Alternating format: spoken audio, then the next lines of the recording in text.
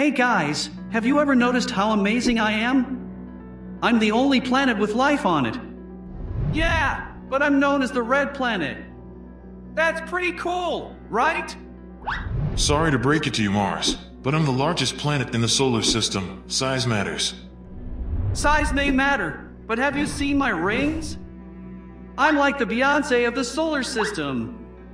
But I have the most diverse range of life, from tiny bacteria to huge whales. Speaking of life, I'm the only planet that humans have sent rovers to. I'm basically a celebrity. You may have rovers, but I have the Great Red Spot. That's like a giant storm that's been raging for centuries.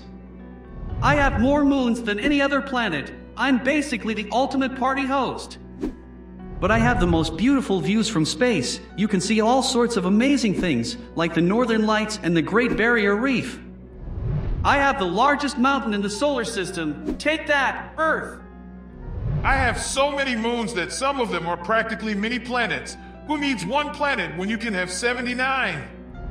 And I have the most unique weather. With hexagonal clouds at my North Pole, I'm like the supermodel of planets. Alright, alright, you all make good points, but can we all agree that we're all pretty great in our own ways? Yeah, I guess you're right. We all have our own unique quirks and features that make us amazing. And we all have something to offer to the universe. That's what makes us so special. So let's not argue about who's the greatest. Let's just appreciate each other and all the amazing things we bring to the table. Agreed! Here's to being the four coolest planets in the solar system. hey guys, have you heard about the space trash problem? Space trash? You mean like old satellites and rocket parts? Yeah, and all the other junk we humans have left floating around in space. I've seen some of that stuff. It's pretty nasty. Not to mention dangerous. All that debris can collide with spacecraft and cause serious damage. Plus, it's just plain ugly. It's not a good look for the solar system. So, what can we do about it? Can we clean it up? Well, we humans are already working on solutions to remove some of the larger debris, like using nets to capture objects or pushing them into the Earth's atmosphere where they'll burn up upon re-entry. That's just a drop in the bucket. There's still a ton of smaller pieces of debris that we need to deal with. Maybe we could get some robots to help out. They wouldn't have to worry about running out of oxygen or food like humans would. That's a good idea. Mercury! We could build a whole fleet of space robots to clean up the mess. And we could make it into a competition. Which planet's robots can collect the most space trash? I like that idea. It could be like the solar system's version of a scavenger hunt. and once we've cleaned up all the debris, we can use it to make something useful. Maybe a giant space sculpture or something. Okay, now you're just getting silly. Hey, we've got to have a little fun with it, right? I agree. Let's turn this space trash problem into a fun and creative challenge for all of us. hey, fellow planets! Have you ever taken a closer look at my magnificent moons? They're quite the stellar crew, if I say so myself. Oh, absolutely. Your moons are a sight to behold Saturn. Enceladus, for example, with its icy geysers, always gives me chills. I must admit, your moon titan has always fascinated me. Its thick atmosphere and hydrocarbon lakes make it seem like an extraterrestrial vacation spot. And let's not forget about your moon Mimas Saturn. It's known for that enormous impact crater that makes it look like the Death Star from a certain movie franchise. Ah, Saturn, your moons are indeed intriguing. But have you seen my personal favorite, Iapetus? It's like a cosmic yin and yang, with one side dark as night and the other bright as day. Iapetus is truly captivating sun, but speaking of contrasts, what about Hyperion Saturn? Its irregular shape makes it look like it's been caught in a galactic blender. Haha, you're right, Earth! Hyperion is quite the oddball. It's like the rebellious teenager of my moon family, always spinning in its own unique way.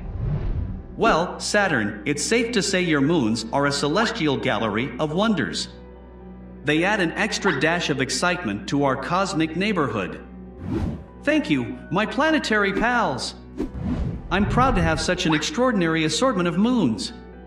Each one has its own charm and mystery, making me feel like the luckiest planet in the solar system. Cheers to that Saturn. Our moons make us shine even brighter. Here's to the beauty and diversity of our celestial companions. hey, planets! What's up? Not much, just trying to stay cool. It's pretty hot out here near you, sun. Haha, yeah, I know. I can get pretty intense sometimes. But that's just part of the adventure of the solar system, right? Speaking of adventure, what are we doing today? How about we explore the asteroid belt? I hear there are some pretty cool rocks out there. Sounds like a plan. But how are we going to get there? We can use my massive gravitational pull to slingshot around and gain enough momentum to make it out there. And I can use my rings to help protect us from any debris we might encounter along the way. And I'll use my unique tilt to help us navigate through the asteroids. Plus, my strong winds can help blow us in the right direction. And I'll I'll just I'll just be there for moral support. Haha, Pluto, you always crack me up. but you're still an important part of our team. All right, let's blast off and explore the asteroid belt. This is so exciting. I can't wait to see all the different types of rocks and space debris out there. And I can use my rovers to take some cool photos and gather data on the asteroids. Whoa, we're really picking up speed now. Hang on tight, everyone. Don't worry, my rings have got us covered. We'll make it through the asteroid belt in one piece. Wow, this is really exhilarating. I never knew exploring the solar system could be so much fun. And with all of us working together, we can accomplish anything we set our minds to. Yeah, we may be small, but we're still an important part of the solar system. That's the Spirit Team. Let's keep exploring and making amazing discoveries together. The adventure of the solar system never ends. hey, fellow planets, how's everyone doing today? Oh, you know, just orbiting along. So, Earth, what's the latest gossip from the land of presidents? How's Biden handling things? Well, Biden's been busy making moves. He's been focusing on infrastructure and tackling climate change. It's like he's trying to build the ultimate Earth 2.0 expansion pack. Uh, I can picture it now. Biden with a hard hat, laying bricks on the White House lawn. He's really taking building back better seriously. Speaking of building, what about Trump? Is he still building towers and tweeting up a storm? Oh, you bet! Trump is still making waves. He's like a solar flare of attention, always grabbing headlines with his rants and rallies. It's like he's trying to make the universe great again.